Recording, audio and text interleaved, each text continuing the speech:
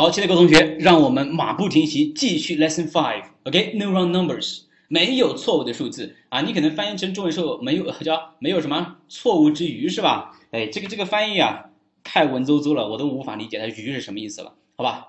那下面时间呢，我们继续看一下为什么说不会有错的数字呢？我们看一下这篇文章。No wrong numbers. First listen and then answer the question. What does no wrong numbers mean? Mr. James Scott has a garage in Silbury, and now he has just bought another garage in Pinhurst. Pinhurst is only five miles from Silbury, but Mr. Scott cannot get a telephone for his new garage, so he has just bought 12 pigeons. Yesterday, a pigeon carried the first message from Pinhurst to Silbury. The bird covered the distance in three minutes. Up to now, Mr. Scott has sent a great many requests for spare parts and other urgent messages from one garage to the other. In this way, he has begun his own private telephone service.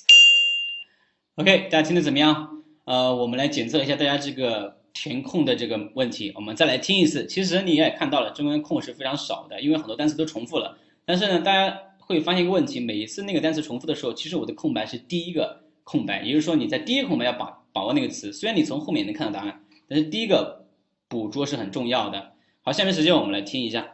Lesson 5. No wrong numbers. First listen and then answer the question. What does no wrong numbers mean? Mr. James Scott has a garage in Silbury, and now he has just bought another garage in Pinhurst. Pinhurst is only five miles from Silbury, but Mr. Scott cannot get a telephone for his new garage, so he has just bought 12 pigeons. Yesterday, a pigeon carried the first message from Pinhurst to Silbury. The bird covered the distance in three minutes. Up to now, Mr. Scott has sent a great many requests for spare parts and other urgent messages from one garage to the other. In this way, he has begun his own private telephone service. OK，这些空填出来了吗？特别是有一些，特别有一个句子是非常长的，那个单词的意思你真的懂了吗？就是我们最后一个空，那个单词是非常长的，而且有很多的生词。好，下面的时间我们来看一下，为什么说它这个不会有这个 no wrong numbers，不会有这个啊错误的数字呢？我们看一下第一句话，Mr. James Scott has garage，或是 garage 啊，大家注意一下，A 老师在读这个单词的时候。有一个很大的变化，就是它的读音是很多的。在英式英文里面呢，你看它的音标注的是 garage，garage 重音位置在第一个音节；而在美式英文中呢，我们读的是 garage 或者是 garage，它是有两种读音的，也就是说 garage 或者是 garage 都是可以的。啊，大家听到这个原文中这个美音朗读的时候，读的是 garage 是 garage 啊，是 garage 还是 garage 来着？啊，都可以啊，garage。注意一下啊，这个如果你学英式和美式，这个地方最好做出一个区分，听清楚了吗？做出一个区分会比较好。OK，Mr. James Scott has a garage in Silbury。啊，他在这个 Silbury 有一个 garage。大家有没有发现它的时态是一般现在时？因为它拥有嘛，就是一种现在的状况，所以 has a garage。Alright，and now she has just bought another garage in Pinehurst。后面的句型你觉得你是不是非常熟练了？He has just done something，看到没有 当这个 just 又是使用现完，another 小学啊都讲过啊，应该是初中刚开始就是说 the other another 这种区别你应该知道了吧？garage 是表示这个前面意思讲过了，就是我们的修车厂的意思。好，在在这里面给大家讲解一下，除了你首先要注意这句话里面的需要你重视的单词就是单词 garage，它的发音是第一位置的，你必须要了解它的发音位置，呃发音的问题。第二个呢，你必须了解它的词义。这个单词除了表示修车厂，它还可以表示你家的车库，就它也可以表示车库。一般情况下，在美国，像这种 house，这就是独门独户的房子叫 house。那这种房子往往会有一个私人的 a private garage，对吧？有一个私人的车库。当然，你在小区的话，你会发现都是公共车库了。你那个时候就是一个停车场，对吧？好，所以每我们的梦想就是希望有一 每个人都想住别墅，是吧？那个最舒服了。好。下面时间我们来看一下，对于单词 garage 能够告诉我们什么知识？首先，第一个叫 vehicle maintenance and repair，这个词看起来比较生疏，你可以把单词 vehicle 换成 car，因为 vehicle 呢是指的是所有的交通车辆，叫 vehicle 啊。但是我们要使用汽车，我们可以使用单词 car，car maintenance，maintenance 来自于动词 maintain，maintain 你肯定认识的，是表示维护、主张的意思，维修的意思。所以 car maintenance 就是车子的的一种。啊，我就是保养啊，维护保养，and repair 就是修理，所以这就是汽车的保养和维修，叫 car maintenance and repair。好，下一词 mechanics 这个词啊，高考的时候有一次经济考试填空题考到它，很多同学都写不出来 mechanics，注意它的重音位置是 mechanics，汽修工的意思，汽修工的意思。呃，大家以后会学到这个 m e c h 这个前面东西都是表示一种机械的，比如说 mechanical mechanism，它都是跟机械有关。这种机械呢，既可以表示真正的机械，也可以表示一种抽象的机械的呆笨的那种意思啊。这个暂时了解一下吧。注意单词 mechanical 是表示汽修工，或者是大家所说的技工，都是可以的啊。是一种，但是修理汽车的叫 mechanics。下一次叫 auto beauty 啊，auto 是 automobile，就是我们的汽车的另外一种说法。然后 beauty，auto 是表示自己的意思哈，大家可能学过那个 auto 什么啊，automation 是 office automation，就是办公室自动化是吧？automation 这个单词就是 auto 自动的，呃，automobile，mobile 是移动，自己可以移动的，就是汽车。auto beauty 就是汽车美容，还有后面 car decoration 汽车装潢，decorate 装饰装潢，你认识的吧？car decoration 这个词也应该了解一下，car wash。大家看过 Breaking Bad 没有？Breaking Bad 就是就是那个绝命毒师啊，他们为了洗钱，最后他们开了一家 car wash，啊，开了一家 car wash，一种洗车场，哎，写了一个洗车场，car park 停车场，就 parking lot 也是停车场。注意这几个短语呢，一定要认识哈。car wash，像你走到洗车场旁边的时候，可以看一下 car wash，car park，car park 是停车场啊。Parking lot 也是停车场，lot 是一块原地，一块地方叫 parking lot。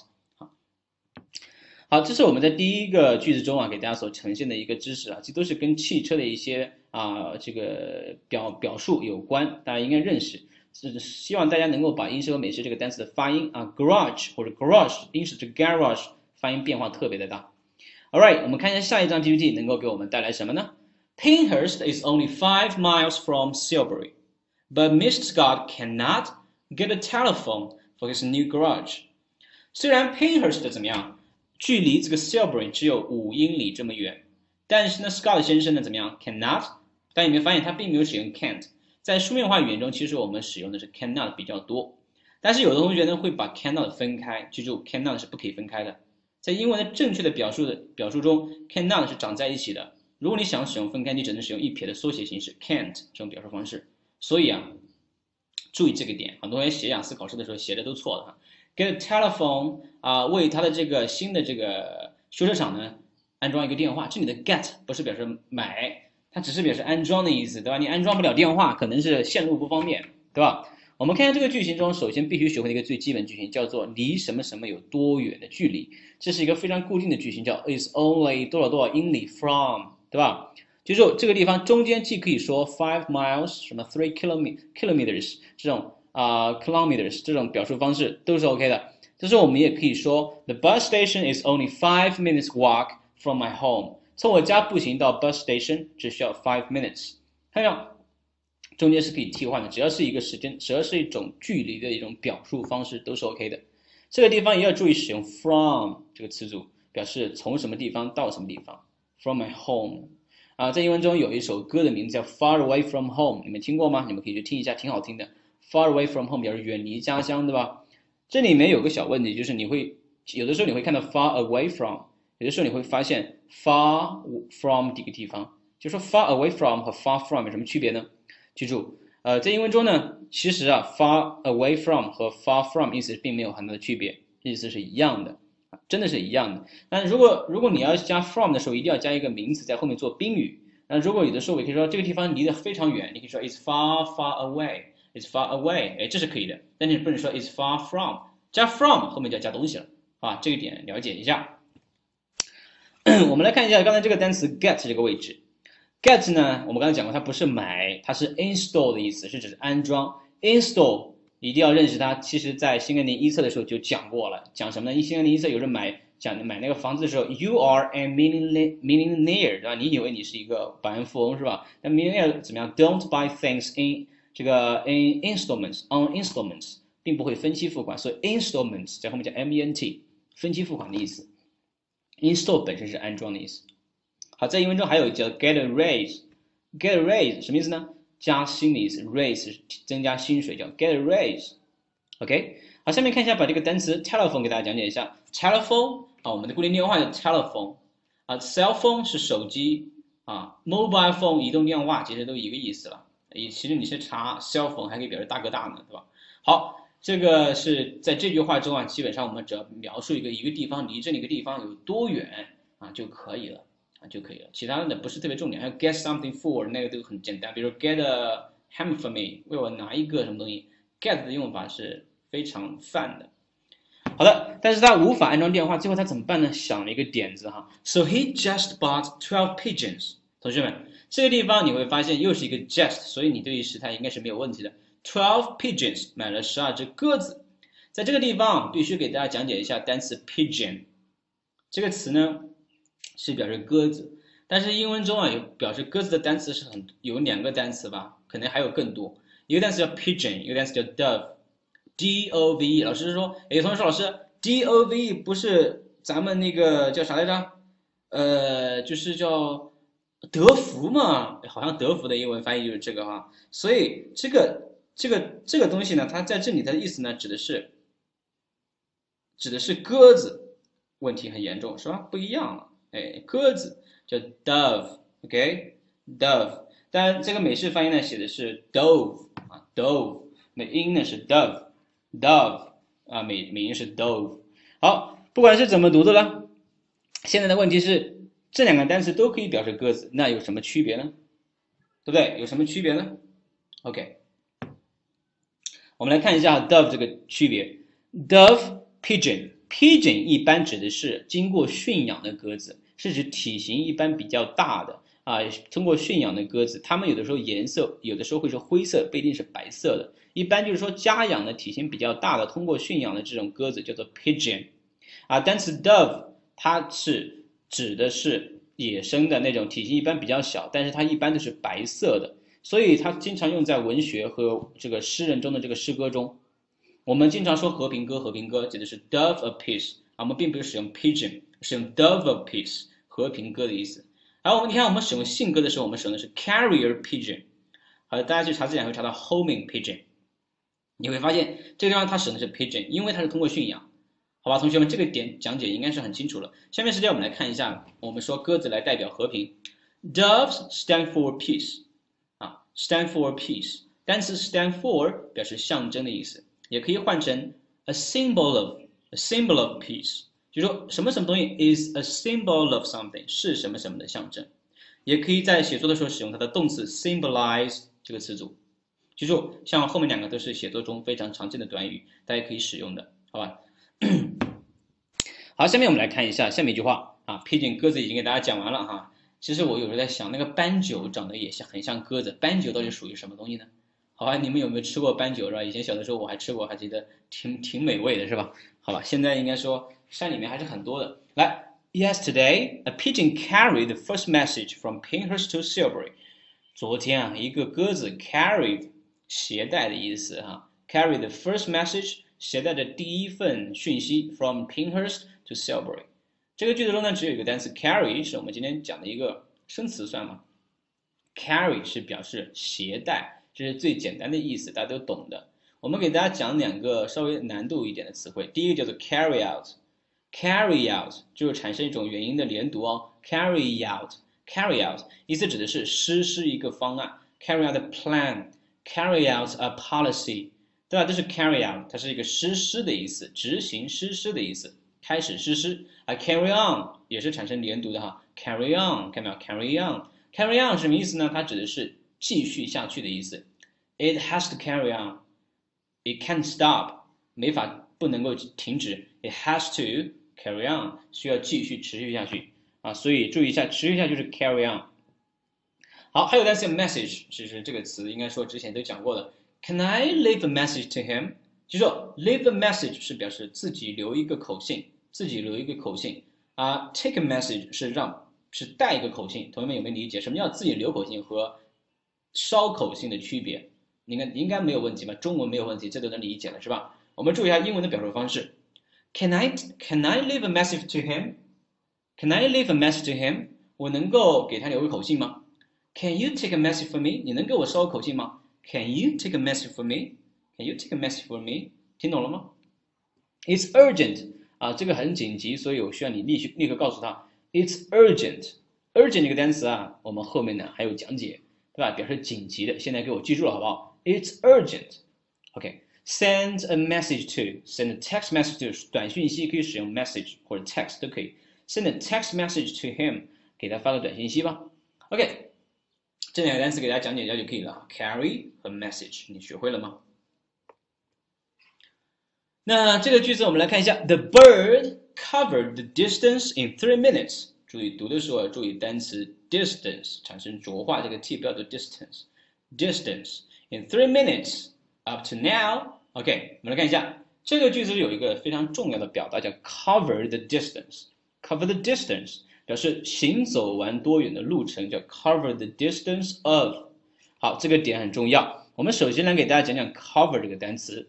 Cover 呢，在文章中这个意思指的是行走了多远的路啊，看完了多少的书，都是用 cover 这个单词啊。呃，我这个意思呢，我个人觉得你应该一定要掌握它，因为你如果是参加应试的话，考这个单词这个意思很独特，我觉得掌有必要掌握它，明白吗？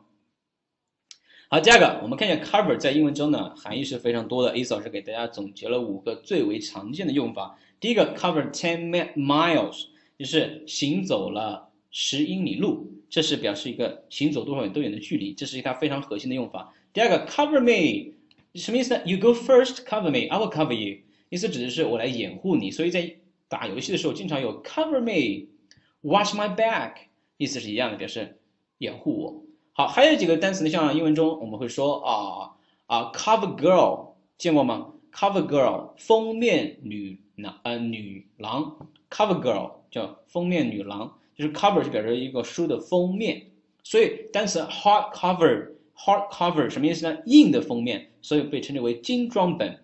它的它的另外一种表示方式可以叫做 hard paper，啊叫做 hardback，啊是 hard paper 还是 hardback 给忘了？大家可以查一下吧，就是 hard 是加 paper 还是加 back？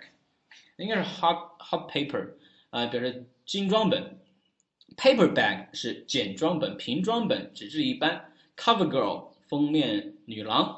From cover to cover，从封面的开始到封面的结束，叫从头至尾。在英文中，从头至尾可以说 from cover to cover，from A to Z，from the beginning to the end，对吧？这意思都是一样的。所以啊，这几个表述啊，大家可以学会。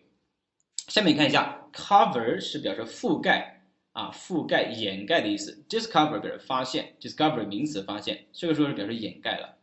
下面一个，cover an event，cover an event 什么意思呢？就是报道一个事件，所以你会发现单词报道使用单词 cover，对不对？使用单词 cover 啊，我觉得也是要求掌握它。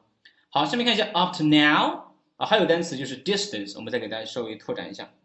distance 是距离，这个大家都没有问题的，对吧？啊，但是呢，这个单词呢，我们看一下它的一些固定的一些啊使用的表达方式。首先第一个 in the distance，什么意思呢？你比如说 she gradually disappeared。In the distance，它慢慢的消失在远方。In the distance 指的是 far away，far away 只是在远处的意思。记住哦，in the distance。下次你说在远处，你想不到词，你就使用单词 in the distance。第二个呢，就是注意一下 keep one's distance from others。啊，大家知道英国人其实不只是英国，中国人都会有这种感觉。你有的时候跟人站在一起的时候会保持一种距离，对不对？所以 keep your distance from others，就是保持一定的距离。Keep one's distance from others，与某与其他人保持你的距离，这个呢还是很重要的。Keep from，注意一下哦。Distance learning，distance learning，distance education，指的是远程学习。像大家现在对着电脑就可以跟着 A 老师学习，这就是一个 distance learning 啊。Distance education 往往可能指的是那种函授，对吧？OK，a long distance call 意思指的是长途电话，这个应该没有问题是吧？下面 distant relatives，distant relatives，distant relatives 指的是什么意思呢？远房的亲戚，distant 远方的，对吧？relatives 亲戚，远房亲戚。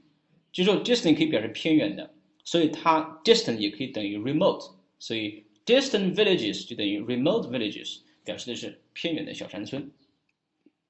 好，up to now，就是在英文中 up to now 可以写成 up until now，up till now。 Up till now 表示到目前为止，就是它出现的时候，一般都使用现在完成时，就等于 so far，so far 到目前为止，在英文中可以说 so far so good 啊，到目前为止一切都好。所以注意 up to now 用现在完成时，so far up till now 用现在完成时。我们来看一下，下面一个是我们这个今天讲的一个生词哈，一个讲解非常的多。这个地方呢，我们来首先看一下这个第一个叫 Miss Scott has sent a great many requests for spare parts and other message messages and other urgent messages from one garage to the other。呃，Miss 呃 Miss Scott 先生呢已经发发了这个发送了多少个什么呢？A great many，前面刚刚讲过，不再重复了。Requests，请求、要求的意思。For request for 就是这个名词哈。Request for 什么呢？Spare parts 是指备用的零部件。And other urgent Urgent 跟前面刚刚讲过，紧急的一些 message 是讯息。From one garage to the other。对吧？从一个到另外一个，记住，总共只有两个，所以它使用了 the other。好，我们来看一下这个地方需要我们了解的一些单词。首先，第一个叫单词 request，是我们今天讲的一个重点。request 表示请求的意思，其实也是可以理解的。为什么？你看啊啊，Q U E S T，大家想到的第一个单词是 question，问题，所以是一种疑问啊，一种疑问，一次就是一种一种。问嘛，就一次又一次的问，所以是一种请求。所以，at somebody's request 就是应某人的请求或者要求。at somebody's request 应某人的这个要求哈。at somebody's invitation 应某人的邀请。记住，这里面的都使用了介词 at。应某人的要求该怎么说呢？at somebody's request 怎么怎么样？OK。第二个，make request for，记住这里面的单词 request 使用的是名词，所以我们使用 make request for 做出什么什么的请求，make request for help immediately 和 for urgent 啊什么什么啊，就是 immediate help，OK，直接的这种呃这种帮助，所以你看 make request for something，啊，直接要请求要什么什么东西，做出这样的一个请求，它如果作为动词后面就不要加 for 了。直接说 request something for some from somebody request something 直接是表示请求要什么什么东西的意思，所以不需要再加 for，记住它名词再加 for，动词不加。第二个，我们看下单词 spare，在英原文中这个单词 spare 表示呃表示备用的，在英文中 spare 它又可以表示多余的、备用的、空闲的、闲置的这些意思。你其实都是一个意思，就是表示。多余的啊，多余的这个意思。比如说第一个，a spare wheel，wheel 是等于 tire，表示轮胎的意思。所以一个备用轮胎就叫做 a spare wheel，或者 a spare a spare tire。a spare money 是你多余的钱，就是你的怎么样闲钱，叫 spare money，你可以翻译成零花钱都可以。spare money，spare time 你的休闲时间、空闲时间。Can you spare a few minutes? Can you spare me a few minutes？这样要应该写一下，加个 me 比较好。Can you spare me a few minutes？假如说这个人很忙，然后你就跟他你说要跟他讲个话，对吧？这个时候你可以说 Can you spare me？Can you spare me a few minutes？Spare 作为动词呢，是表示抽出的意思，抽出空闲时间的意思。所以记住哦，它作为动词是抽出的意思啊。所以我们可以说 spare a few minutes。第二个呢，我们要注意的是 Spare me please，I won't do it again。大家知道这个句子经常会在求饶的时候出现，Spare me, please. I won't do that again. 意思指的是，请你宽恕我吧，请你饶了我吧，我不会再那样做了。注意，spare 还可以表示宽恕、饶恕的意思。好，这样一讲，给大家 spare 的一些短语吧，包括它的最基本含义，都通过短语给大家表述出来了。还有一些情景和句型，希望大家真正的记住单词 spare，不要每次只会一句话啊，in my free time, in my spare time。其实这些用法你都会了吗？In other urgent，urgent 是紧急的，紧急的单词我们再给大家拓展一下。第一个 urgent mail，我不知道大家有没有发现，在你的邮件里面经常会有个加急的这个标志，其实就是 urgent。urgent mail 表示加急邮件，就是就表示加急邮件的意思。那如果你是迫切需要一个什么东西，就说 be in urgent need of something。在英文中，我们需要什么东西不一定要总总是使用 need something。我可以说 we are in need of something。Where we are in need of something。We're in We're in urgent need something，就是表示我们特别需要这个东西，迫切需要。Urgent. It's a matter of utmost urgency. It's a matter of 是一个什么什么的问题。比如说，It's a matter of life and death. It's a matter of It's a matter of life and death. 生死攸关的事情。 It's a matter of 就是这个短语。It's a matter of life and death，这是一个生死攸关的问题啊。It's a matter of urgency，这是一个紧急的事情哈，注意了哈。 Utmost 最高的啊，注意一下。在英文中，我们如果想表述我们首先要做的事情呢，除了表示用几级的，我们一般会使用这个单词叫 priority，频率非常的高。P I R O R 其实指的是 before 在之前的意思啊，所以最放在最前面的事情是你要最做的事情。The top priority is to 怎么怎么样？我们的首先最紧要的事情是要去干嘛干嘛。记住这个句型哦。在美剧中频率非常高。The top priority is 怎么怎么样？好，这个点都学会了吗？这这一张 PPT 啊，重点还是蛮多的。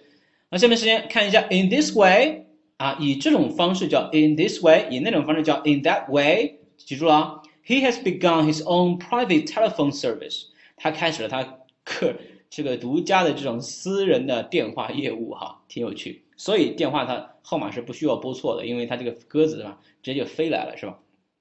首先给大家讲讲 way 的用法。首先大家学的 way 第一个词组就是 on the way to，应该是没有什么问题的，在去什么什么的路上，on the way to school，on the way home。By the way，意思指的是顺便说一下哈，我顺便问一下好吧，顺便顺便问一下。By the way，顺便说一下，on the way 指的是什么意思呢？同学们知道这个地方写错了，还应该写的是 in the way，好，大家帮我改一下好吧？现在我也改不掉了，in the way，啊，这个不是 on the way 哈，on the way 是在路上呢，I'm on the way，我在路上，in the way，比如说 the chair is in the way，move it，什么意思呢？哎，这个这个椅子啊，挡住挡住路了，你把它给弄一下啊，那移一下，所以啊，in the way 意思指的是挡道的意思，挡道的意思。好，下面 in the way 就说这是 in a way。在某种意义上，在某种程度上叫 in the way，in the way，注意一下这个差别还是很大的。所以有的时候我们说，哎，get out of my way，get out of my way，get out of my way，呃，这个别挡我的路啊，赶快给我走掉啊，get out my way，那就是给我让开啊，给我让开的意思，好吧？以前我们说 get out of my face，不要让我看到你，是吧？这个意思。好，way 呢？其实大家如果去查的话，它还可以表示一个副词，经常放在形容词之前，其实相当于呃相相当于 very 的意思。如果你有天看到 way beyond my imagination，就是远远超过了我的想象，它就是用 way。注意一下这个单词哦，可以表示 very，相当于一种程度之深的意思，相当于 far 啊这种这种意思。好，我们看一下还有单词吗？有单词 begin，这单词 begin，呃，它的过去分词是 begun，我们读的时候 well begun is half done，大家应该知道了吧？Well begun is half done，意思指的是好的开始是成功的一半。这个句子呢可以用在写作中，但写作中我们可以更加使用书面化语言，使用的是 A good beginning is half the battle。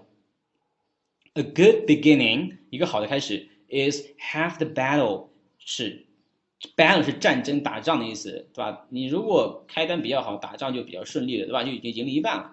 To begin with，在写作的时候也会经常讲首先，除了当年也可以说 firstly，啊，也是意思是一样的。第二，我们来看单词 own，o w n。如果你经常，我们以前使用一个软件哈，那个软件的拥有者啊，它这个频道的拥有者就是称之为 owner。